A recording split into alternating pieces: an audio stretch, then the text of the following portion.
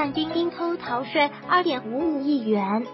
除了补齐这部分税款，他还需缴纳超过六亿元的滞纳金及罚款。交齐这些款项后，他可以不被追究刑事责任。与此同时，几年前另一桩逃税案被发了出来，前空姐李小航因多次携带从韩国免税店购买的化妆品入境未申报而获刑。二审认定偷税逃税总额为八万元，判处有期徒刑三年，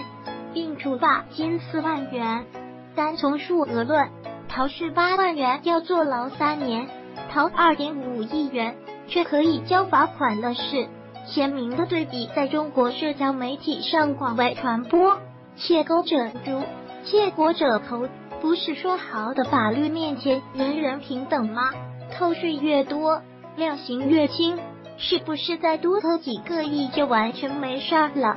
范冰冰逃税事件所引发的关于中国税收不公的讨论，是中国税制改革不得不面对的问题。种种迹象表明。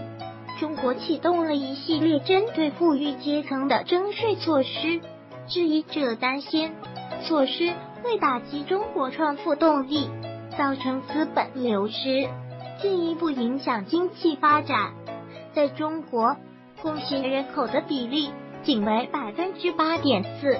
却贡献了百分之五十八点一一的个税工薪税。从法律的角度解释两个案件的争议并不困难。范冰冰所犯为逃税罪，有一项行政处罚前置程序，即如果初次逃税，税务机关进行行政处罚滞纳金、罚款等后，就不追究刑事责任，也就不算犯罪。而空姐被判三年徒刑的依据是走私罪，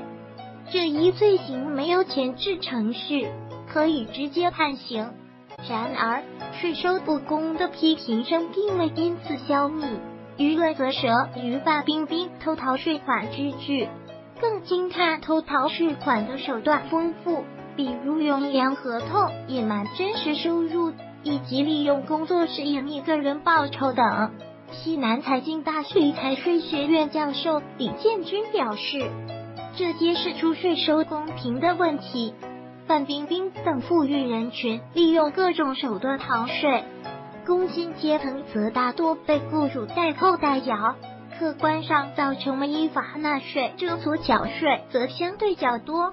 这是不公平的。这一观点有数据支持。根据中国家庭金融调查与研究中心调查，去年税前平均月工资扣除五险一金后。在八千到三万八千五百元的人占工薪人口的比例仅为百分之八点四，却贡献了百分之五十八点一一的个税，是占比最高的。因此，个税也在中国被称为工薪税。换言之，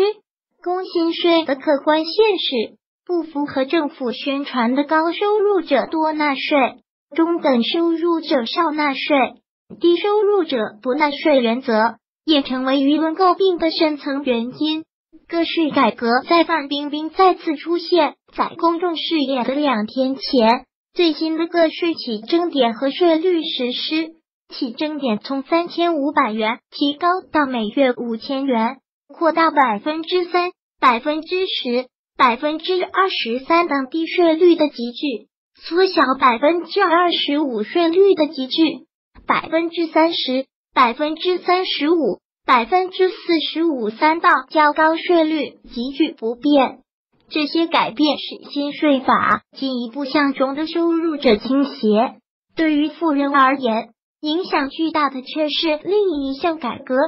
从分类计征改为综合计征。此前的分类计征使得企业主要针对工资性收入进行代扣代缴，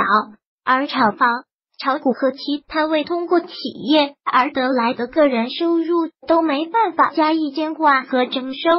改为综合计征，则将以前的工资、薪金所得、劳务报酬所得、报酬所得、特许权使用费所得作为综合所得，按照统一的超额累计税率进行征税。中国正在酝酿的房产税被认为将针对一些高端房地产或拥有多套房子的个人更受关注的房产税，也在本月被纳入人大常委会立法规划，且为第一类项目，即条件比较成熟、任期内拟提请审议的法律草案。从此前讨论来看。中国如果开征房产税，则一改国外房产税普遍征收的特点，开始主要针对一些高端房地产或拥有多套房子的个人。这也被认为是针对富人征税的主要举措。避税天堂不再对顶级富豪跨境避税的打击，几乎是全球性的。中国也加入了这一行列。今年九月，中国首次。与其他部分国家交换 C 海外金融账户共同申报准则信息，C 意味着参与各国政府互助合作，相互通报对方公民在自己国家财产信息的标准，以共同打击纳税人利用跨国信息不透明进行逃税、漏税及洗钱等行为。包括中国公司在内的很多公司将公司注册。在有避税天堂之称的国家，比如英属维尔京群岛、开曼群岛、百慕大等，这些国家对前来注册登记设立公司只收极少的年度管理费，对公司股东信息、股权比例、收益状况等给予高度保密，不征税或税负极低，无外汇管制，监管宽松。举例而言。一个中国富人如果在海外通过在避税天堂注册的空壳公司进行投资，这家空壳公司的利润只要不分配到个人账户上，在现行税法下，该人士则无需缴税。然而，在非推荐实施后，中国税务部门可以利用反避税条款，可以将这家空壳公司取得的利润视同个人直接取得二。课税，中国税务部门将掌握个人境外收入，一旦被列为高风险的纳税人，在面临巨额资金来源不明审查的同时，还得补缴大额的个人所得税。亚马逊集团因为当地应收富人税而停进一座在建办公楼，并预计将七千个工作岗位移出西雅图，担忧。打击积极性影响经济发展。然而，加大对富人的征税力度，并非全是叫好声。去年，美国西雅图市通过了一项法案，要求向年收入超过二十五万的居民个人以及年收入超过五十万合并报税的已婚伴侣征收百分之二点二五的个人所得税。该法案被称为“富人税法案”。该法案的通过在当地引起巨大争论。反对者认为，西雅图市所属的华盛顿州是美国七个不征收个人所得税的地区之一，从而保持了该州的繁荣以及经济上的竞争力。富人税将使该州持续了近一百年的税收制度前功尽弃。受该法案影响，总部在西雅图的亚马逊集。团当月就停进一座在建办公楼，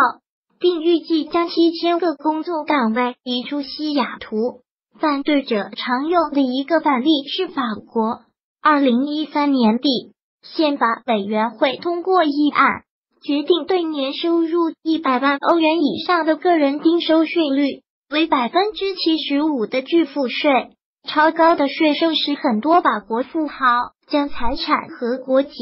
都转移到俄罗斯等国，在中国这种担忧同样存在。最近的一次来自于对企业转让股票的税率改变。以前，中国各地税务部门一直对合伙企业转让股票收入分配给自然人合伙人按百分之二十征税。八月三十日，中国税务部门表示，未来将按照百分之五。到三十五的累进税率实施，业内人士称，税率突然大幅攀升，会影响投资者通过合伙企业的形式去投资。让目前正经历寒冬的中国创投行业雪上加霜。